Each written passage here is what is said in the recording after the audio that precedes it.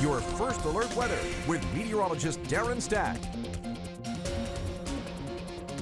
Good Thursday to you. Another unsettled forecast moving into the area and sticking around as we head into the end of the week and the start of your weekend. Better chance for scattered rain showers and thunderstorms will be across the Pee Dee and the border belt today. 60% chance, but even along the Grand Strand, we've upped those rain chances to a 40% chance. We could even see a few isolated showers and thunderstorms develop along the sea breeze as we go through the mid afternoon. Otherwise, scattered showers and thunderstorms still possible overnight, although the coverage will start to wane a little bit and still holding on to those rain chances even more so for the day tomorrow. This afternoon, when you're not seeing those scattered showers and thunderstorms, look for partly sunny skies. The temps will max in the mid 80s along the Grand Strand, upper 80s inland, but the Pee Dee and the border belt should stay shy of 90 degrees because that's where we will see that increased coverage of those scattered showers and thunderstorms. But the humidity is going to be staying up, not just for today, but for the next several days as this stalled out frontal boundary remains just to our west, which means we are on the eastern side, that tropical side where the deep tropical moisture settles in and the humidity stays up. And that's when we're talking about scattered rain showers and even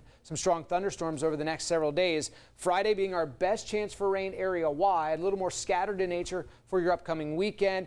Sunday looks like we could see at least the first half of the day being a little bit drier than on Saturday. Nonetheless, our rain chances are tapering off as we head to the beginning of next week. But over the next five days, still dealing with the chance of some of those heavier downpours. Uh, we're still dealing with flood warnings across half the rivers around the area, uh, major portions of the rivers, that is, as well as we're keeping an eye on the potential for an area-wide flood watch with a very saturated ground still left over from all of the rain we saw just from about two weeks ago. That was six to 10 inches from that weekend of rain and into the early portion of the week we're going to be looking for two to four inches of rainfall possible over the next five days. But as mentioned, isolated strong thunderstorms, damaging wind gusts possible with those thunderstorms could produce uh, some damage to trees that get blown over by that already very saturated ground. So that's certainly something we'll be keeping an eye on for you over the next five days. Tropical storm Chantal, or what once was, sheared apart. Looks like a lot of tropical moisture still associated with it, but now just the remnants of Chantal. It is over the Bahamas forecast to gradually work its way toward the east coast of Florida, really not showing any signs of re uh, regeneration or reorganization as it's going to be still interacting with a lot of wind shear and uh, over the next several days slowly working its way eastward.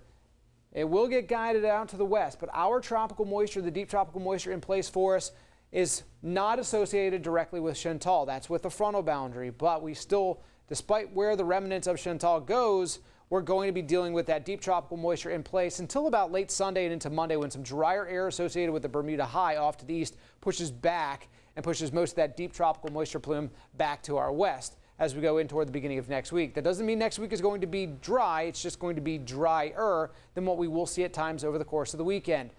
Seven day forecast high temperatures will stay in the mid to upper 80s for the Grand Strand aside from on Friday with high of 83 degrees because of the excess cloud cover and the increased coverage of the showers and thunderstorms scattered around the area. That'll be the case even for the inland areas. You'll see your coolest day, relatively speaking, here at 85 degrees, but the humidity will stay up. Upper 80s heading through the end of the weekend and into early next week. We're back to around 90 degrees by Wednesday, and the rain chances are tapering back off to that isolated afternoon thunderstorm pop up.